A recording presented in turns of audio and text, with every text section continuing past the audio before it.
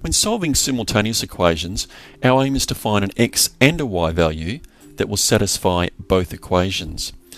The ones here in front of us are going to be solved by a process of elimination and that usually occurs when x's and y's or whichever letter you're trying to solve for are on both sides of the equation.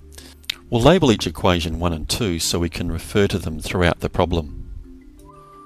To solve equations by the process of elimination, we have to consider the number in front of the variables, or what's called the coefficients. Now if no number exists, like in the case of each of the x's, that number is actually a 1. So we've got the same number in front of the x's, and we've got a 1 and a negative 2 in front of the y's. So to eliminate the variables, it would appear as though it's easiest to subtract the two equations, subtract 2 from equation 1, and that way we'll remove the x's because 1x minus 1x is 0.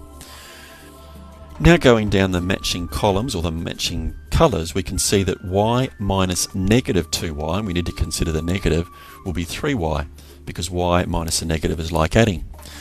Going down the constants on the right hand side, we've got 7 minus 4 is equal to 3.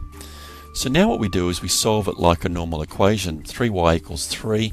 3 multiplied by y means to remove the 3, we have to divide both sides by 3, so we get y equals 1.